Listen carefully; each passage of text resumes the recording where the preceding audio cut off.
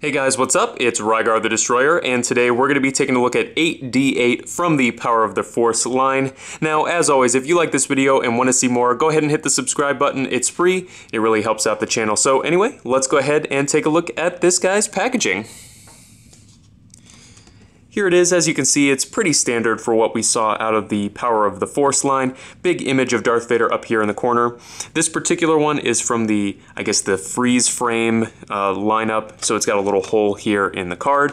When you flip it around onto the back, you can see an image of uh, the character from the movie, and he's currently torturing a little gonk droid here. Pretty funny. It also shows the figure with its accessory, and then some of the other figures that you could pick up around the same time. So overall, pretty standard stuff. So let's go ahead and get back to the figure itself here. Now 8D8 stands at about three and three quarter inches tall. So he's right in scale with all of your other Star Wars three and three quarter inch uh, figures. And he does come with a couple accessories. The first one is his little freeze frame slide. And I'm not really sure how well I'm going to be able to show this off in person.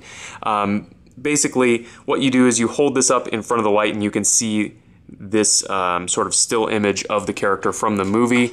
Um, it's the same image that's shown up here. Um, like I said, it's just kind of hard to show off um, on camera. One thing that I think is really funny is how hard Kenner leaned into the torture droid aspect of this character. It says down here, Jabba's droid in charge of torture. You know, basically, it's just kind of funny that they're they're selling toys, you know, specifically centered around uh, torturing. It's sort of funny. His next uh, accessory does also lean into that, and that is his actual torture rack setup. Over here on the side, there's a little lever that you can have the figure pull and it does actually have the like I guess hot irons that you can press down onto your Gonk droid figure. Uh, again, really funny that they would lean so hard into the torture aspect of a uh, you know character uh, that you're selling a toy uh, about. Uh, just sort of uh, a funny thing.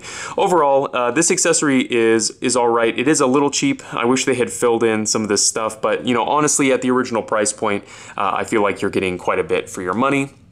As far as the figure itself go uh, goes, it does have um, one little feature here. It's kind of hard to show off again. It's like that light piping stuff. So as you can see here, his eyes sort of glow, and that is just piped in from the top of the figure. So it's, it's hard to show off on camera, but definitely in person you can see them um, sort of glow if you've got the light set up correctly. Uh, he does have some fairly basic articulation that we'll run through here. He's got a swivel in the head, swivels at both shoulders, and then swivels at his hips. So overall, uh, what do I think of this guy? You know, honestly, the, the figure isn't, you know, the greatest in the world.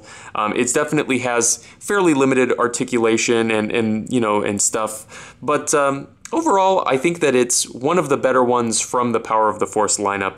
You know, I think at, at, this point, really none of the main character figures from the Power of the Force are really worth going after. It's just these kind of crazy background characters uh, that I think that you should be looking for. So if you're trying to set up a Jabba's Palace display, I think this is one of those figures that you should go ahead and pick up, especially since you can probably find him for well under $10. So anyway, go ahead and leave your comments and questions down in the comments section below and I guess I'll see you later.